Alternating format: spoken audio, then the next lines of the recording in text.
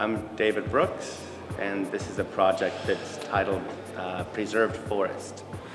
Numerous nursery grown trees, not trees that I went and plucked out of an ecosystem somewhere. We built an earth ramp, uh, like 50 cubic yards or more of actual earth built up to simulate uh, a sort of hillside. The trees then are planted to approximate an Amazonian rainforest. So it's, the idea is it's a displaced patch of forest brought into here. We then sprayed the whole forest with a couple of uh, types of spray guns. There's, it's a concrete that actually has a little bit of latex infused in it. And then there's um, about a cement truck's worth of concrete that was pumped over the forest and creates this sort of lava flow that you see down here.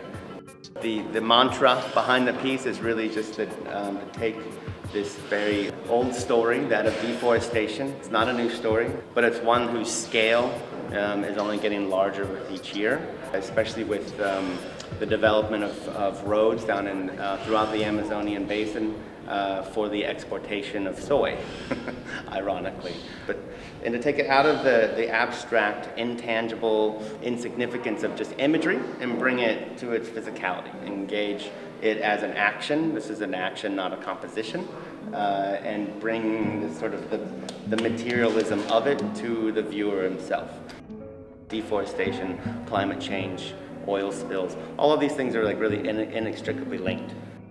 Have used the material before because it's a very loaded material, concrete being one of the three top worst emitters of carbon in the atmosphere. We use it obviously because it has a, a stability to it. And then we have, um, of course, organic matter.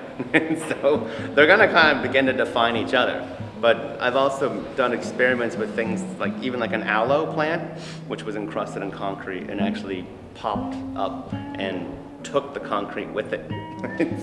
there, there could very well be some cases like that. So it's a little bit of um, a process that I, I can't control, um, but there would certainly be a lot of decay that goes on, but also, especially down at the base areas, a lot of that decay will be um, entombed in the concrete and sort of fossilized in a way.